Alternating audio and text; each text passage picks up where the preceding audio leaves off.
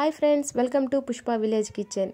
Veg biryani సులభంగా రుచిగా ఇలా చేయండి. లంచ్ బాక్స్ కూడా త్వరగా రెడీ అయిపోతుందండి. ముందుగా స్టవ్ ఆన్ చేసి కడాయిలో నెయ్యి కొద్దిగా నూనె కొద్దిగా వేసుకొని మసాలా దినుసులు వేసుకొని పచ్చిమిరపకాయలు ఉల్లిపాయలు వేసుకొని టమాటో ముక్కలు వేసుకొని అల్లం వెల్లుల్లి పేస్ట్ వేసుకొని పచ్చాసన పోయేలాగా వేయించుకోవాలి. ముందుగా బీనీసు ఆలు క్యారెట్ను కట్ చేసి పెట్టుకున్నానండి కూరగాయ ముక్కలు ఇంకా పచ్చి బఠానీలు ఉంటే వేసుకోవచ్చు. ఈ విధంగా వేసుకున్న తర్వాత మొత్తం కలిసేలాగా కలుపుకొని మూత పెట్టి ఒక రెండు నిమిషాలు ఉడికిన తర్వాత కొద్దిగా సాల్ట్ వేసుకోండి. కొద్దిగా పసుపు వేసుకోండి. రుచికి తగినంత సాల్ట్ వేసుకోండి.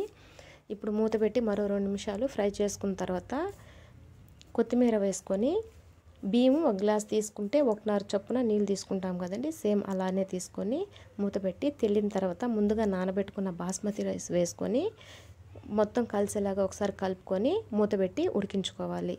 త్వరగా ఎక్కడికైనా వెళ్ళాలనుకున్నప్పుడు ఇలా చేసుకున్నారంటే సింపుల్గా రెడీ అయిపోతుందండి. రుచి కూడా చాలా బాగుంటుంది.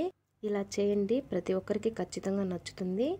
త్వరగా కూడా డైజెషన్ అయిపోతుంది. మసాలా కూడా తక్కువ వేసుకొని చేసుకుంటే చాలా బాగుంటుందండి. చూసారు కదా? నా వీడియో మీకు నచ్చినట్లయితే నా ఛానల్ను సబ్స్క్రైబ్ చేయండి.